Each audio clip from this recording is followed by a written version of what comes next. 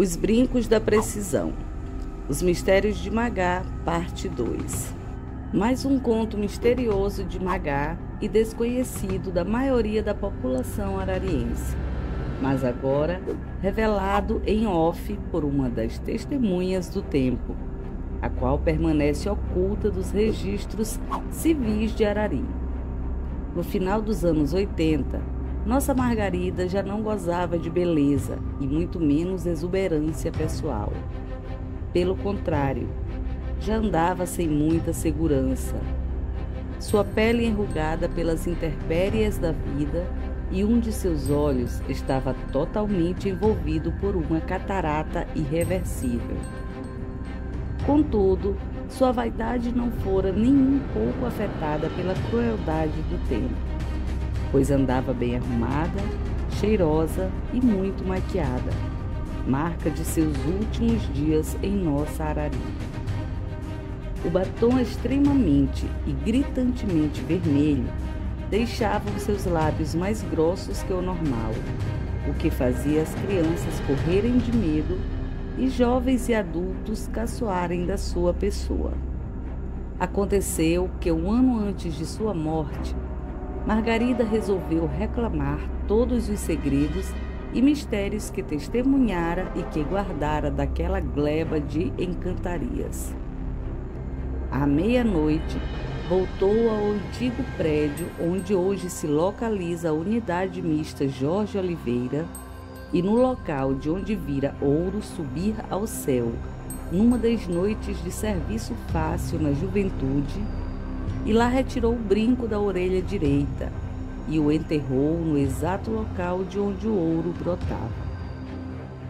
Ajoelhou-se para fazer uma espécie de prece e então se levantou e partiu decidida a continuar sua promessa oculta. Chegou em ponto à meia-noite e meia ao cemitério da cidade, do qual vira um casal retirar um dote enterrado há décadas atrás por não se sabe quem, e no mesmo túmulo enterrara seu brinco da orelha esquerda, repetindo a mesma prece de outrora. Depois desse fato, Margarida começou a definhar acometida por uma doença na época desconhecida, o que levou seus parentes a cuidarem dela até o dia de sua morte, um ano depois do acontecido. Só no velório de Magá é que as pessoas notaram que lhe faltavam os brincos de rosa que tanto exibira enquanto vida, mesmo estando com os lábios pintados e com os cabelos molhados por uma espécie de gel capilar caseiro. Alguém que já estivera uns dias antes ali para ouvir a sua confissão chegara de mansinho e se colocara ao lado do caixão de forma silente. Era o vigário da paróquia, aquele com quem a falecida confidenciara e guardara tantos segredos em prol do bem da comunidade. Ela havia cumprido a sua parte e agora ele cumpriria a sua, encomendando o seu corpo aos céus, como prometera ao final da última conversa que tiveram na casa paroquial por ocasião das joias encontradas. Ao sair, confidenciou a um dos parentes que havia um dote a ser desenterrado 13 anos depois da morte de Margarida, oferecido como precisão de uma alma atormentada por uma vida de tribulações e sofrimentos. Ele deveria ser dado a uma recém-nascida de cor e da mesma família, e ainda ser batizada com o nome de Margarida, o que poria fim à sua peregrinação pelo purgatório e refrigério eterno da sua alma. Assim aconteceu. Treze anos depois, nascera uma menina negra, de olhos brilhantes e de lábios avantajados, a qual recebera o nome de Maria Margarida e de presentes os brincos da precisão de sua tia-avó Magá.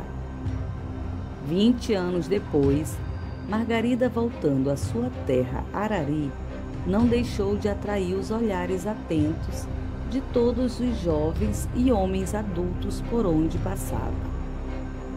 Não se viam os brincos, não se viam os lábios pintados de vermelho, nem muito menos os cabelos molhados. O que se via era uma mulher de alta estatura, diferente de sua tia-avó, trajando um hábito branco das irmãs peregrinas de Praga. O desejo final de Magá havia se realizado, pois pedira ao pároco que quem recebesse o seu dote fosse alguém encaminhado por ele a ter uma vida totalmente dedicada a Deus, como não fora a sua.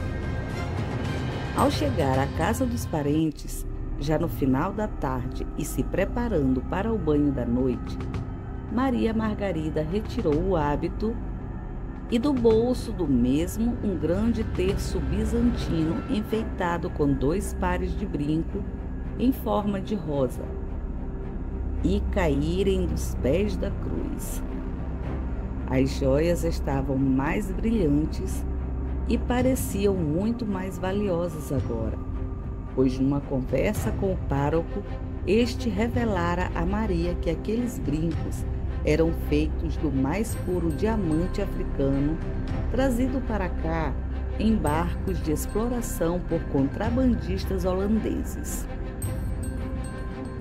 O destino dos brincos ninguém sabe, nem muito menos o paradeiro de Maria Margarida, a qual nunca mais retornara a Arari, nem voltara a se comunicar com os parentes que aqui residem, a não ser por uma carta deixada na porta dos parentes, a qual iniciava. Envio de volta um dote familiar, entreguem com urgência a. Continua.